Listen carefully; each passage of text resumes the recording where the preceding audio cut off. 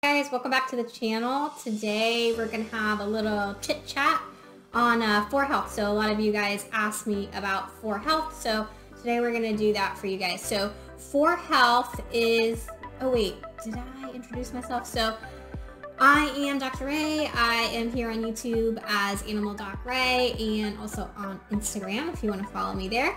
Um, and I discuss food and all things veterinary and all that kind of stuff. So today we are doing a Tractor Supply brand uh, 4Health uh, by popular request. So we're going to go through the package. We're going to pick out um, some of the important things. We're going to break it down and we're going to see what it's all about.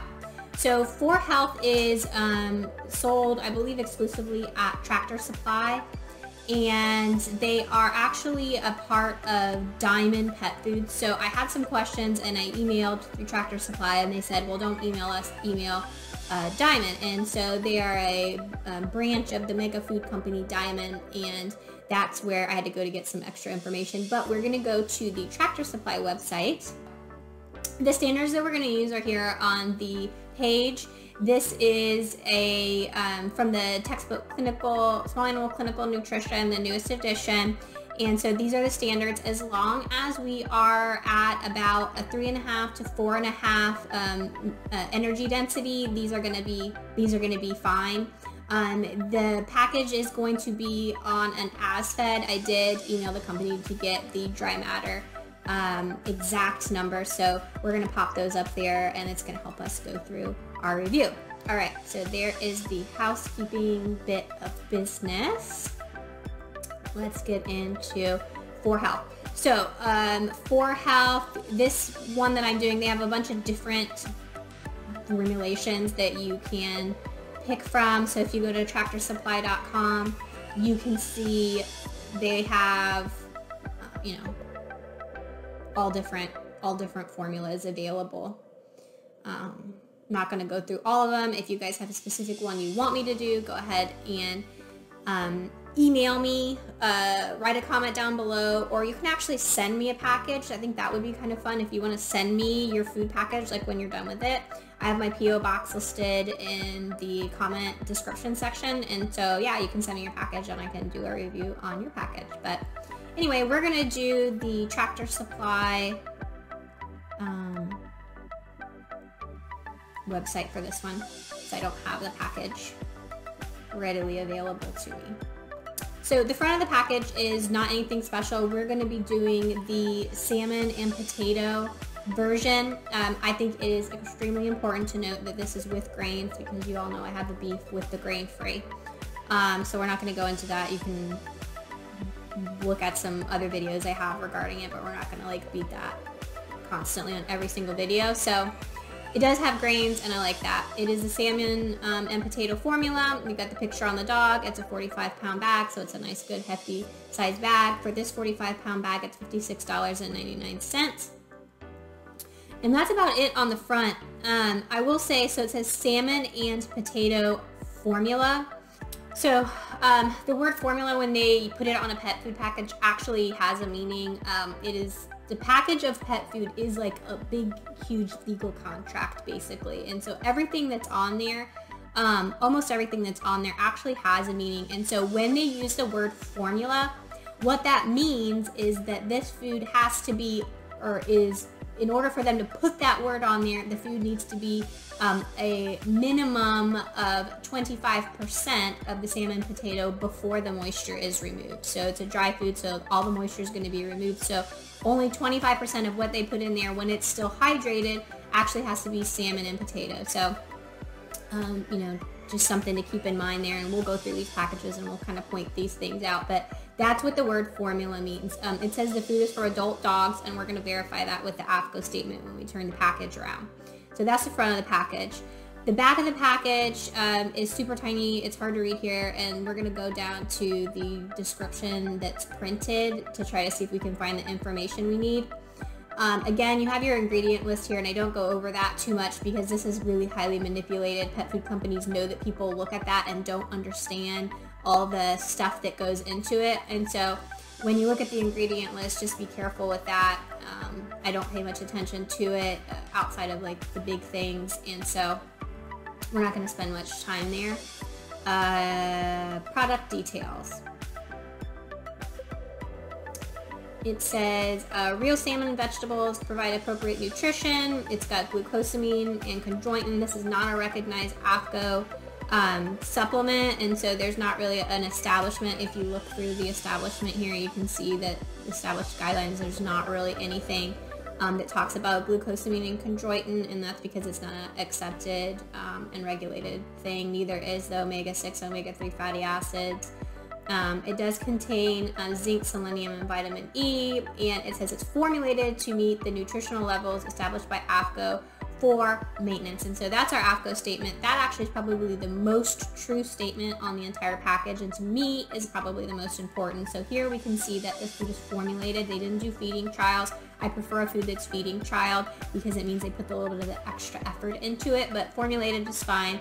And it is for adult maintenance and so it's not all life stages. It's specifically for adults. So if you have an adult, you know, this is meant for them.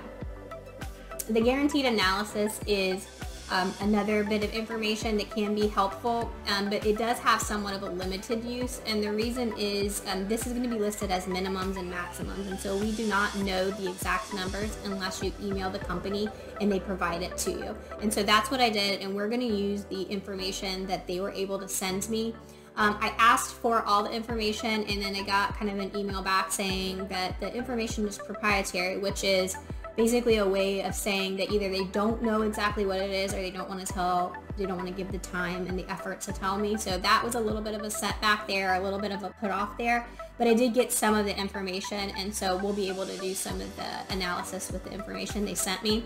Um, anything that's starred here, so taurine, the omega-6, omega-3s, and the glucosamine, chondroitin, and the probiotics, um, you can see there that it's not recognized as an essential nutrient, and so there's not really going to be standards for that. So let's get into the analysis.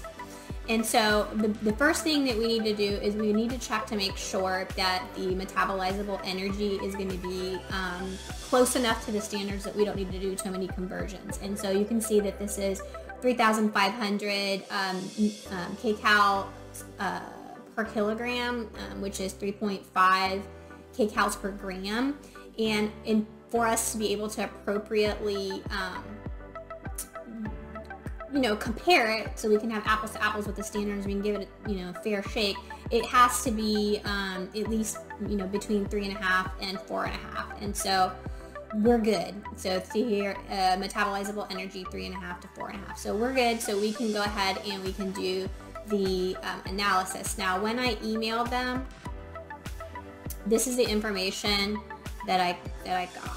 So I, you know, I specifically asked for the protein, fat, calcium, calcium, and phosphorus because I think those are the most important things. And so this was the information that I got. Um, we've got 28.4% dry matter on protein, 15.3 on fat, 1.6 on calcium, and 1.1 on phosphorus. And so if we look over here, um, because we are in the correct metabolizable energy, if we have a normal body condition score, it's going to be on this side. If we have an inactive or obese prone, it's going to be here on this side. And so protein at 28.4% is going to be good for both categories. Fat at 15.3%. Between 10 and 20 between 7 and 10. And so if you have a normal body condition score, and you can refer to my body condition score video to help you determine that, you're going to be okay with this food in the fat range. But if you have an obese or inactive dog, this is going to be probably a little bit too much fat for you. Calcium at 1.6. Ooh, I don't have a calcium on this chart. We're going to have to pull a different chart for calcium. I've got a lot of charts for you guys. This comes from the um, Merck Veterinary Manual. It's a really good resource and I have it linked in the description box if you guys want to check it out. They have a section on nutrient requirements for dogs and they give you nice ranges. So we don't want growth or reproduction. We're looking here for adult maintenance. We've got a minimum and a maximum. And so 1.6 on the calcium is going to be fine. It's right in the middle. And then phosphorus at 1.1 um, we've got 0.6 as the, um, let's see here. 0.5 is the um, maintenance minimum and 1.6 is the maximum. So we're right in the range for that. And that is important. Um, the calcium and phosphorus is important. I know, a lot of people um, really focus on like the fat and the protein, but calcium and phosphorus are extremely important because uh, overload of those minerals is really difficult on your pet's kidneys. Honestly, an overload of protein is really hard on your pet's kidneys as well. And so having the proper ratio and a proper balance of that is extremely important. So don't leave out when you're doing these analysis the calcium and phosphorus. If you have to call them or email them or whatever to get that information, it's worth, you know, it's worth a little bit of extra time. Um, the other thing that I like to do is to see if they actually are giving an appropriate feeding guide for the food. So I think um, I hear a lot in practice, people are like, they always tell you to feed more on the bag because they want to sell more food. I honestly, I'm not sure if that's true or not. So we're going to figure it out right now. This food has 397 kcals per cup. And so we're going to do a little comparison here. So they're saying that if your dog weighs, let's just pick one that's even, uh, 30 pounds, you need to feed two cups of their food.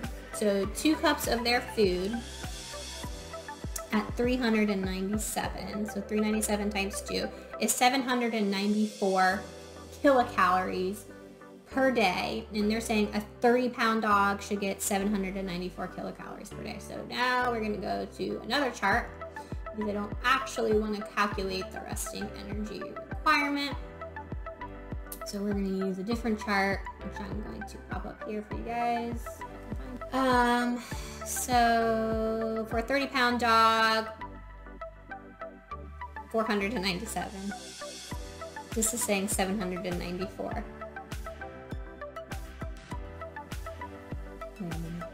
that 30 pound dog should get two cups per day. And it's 397 kcals per cup. So 397 times 2 is 794. And if you use this chart, which is correct calculation for resting energy requirement, and I'm making sure that I was looking at it in pounds, a 30 pound dog only needs about 500. So everybody that is telling me that the pet food companies, at least 4Health, that the pet food companies put way too much on there because they want to sell more dog food may be right. If you feed your pet 4Health, do not use the feeding guidelines because they are really far off. So, okay. That's probably the first bad thing that I've seen about the suit. Everything else has been fine, but the feeding guide is really, really, really, really, really, really far off. Um, okay, so let's move on. Let's see, uh, let's see what people, let's see what people think. Uh, 4.8 stars. They've got tons of reviews, like thousands and thousands. Everybody seems to love this food. Um, the dog food was amazing. Um, almost the same as the food we were paying two times as much for. Some people said the formula has changed. This one says, bad reaction for my dogs. My vet says potatoes are a very common allergy. Um, that's not true. I have a whole video on uh, allergies and greens and all that kind of stuff and that's actually not true i don't know if their vet actually said that or not but it's pretty pretty well established uh, among veterinary dermatologists that pets are allergic to the proteins most commonly and not potatoes i've actually never heard that before so um, they said my dog now has bald spots, um, but I don't I don't think that's true, and I don't think that they deserve a one star for that because that's just probably. Um, okay, let's move on. Let's see. We had some questions that people asked. Um, you can read them here. Where is it manufactured? They're um, in the United States, two in California, one in Missouri, one in Arkansas, and one in South Carolina. So made here in the USA. Is the salmon wild caught or farm raised? And they said that they um, source their salmon from Norway and South America. Uh, so they are sourcing from outside of the country, so there can be some concerns there, but they do that because they do not want, due to concerns over sustainable fishing, they use a blend of wild caught and farmed salmon. So, it's neat. A lot of people are asking about, can you use this for urinary health? Can you use this for dogs with liver problems, etc., etc. And um, you know they're appropriately recommending that you consult your veterinarian. That they're not going to be able to tell you that information. It depends on your pet's specific um, specific stage. All good questions. You can read through there. There's a lot of good questions. Um, and so let's let's break this down. So it is a grain inclusive food, which is important to me. Um, it is following AAFCO guidelines. It is for adult maintenance. That's important. The guaranteed analysis when converted to dry matter basis is right on point. Um, the only thing that was a little bit off, which I thought this might be an old wives' tale, but we're going to start looking into this. It's, this is true the feeding guideline was suggesting like double what what you should actually feed your dog. So let's not do that. Um, so 4health, pretty good. You can find that Tractor Supply. I think it's probably pretty readily available to most people. And so yeah, I think this is a good one. Um, if I, I might feed this to my dog. I mean, I'm not interested in changing the food right now, but pretty good one.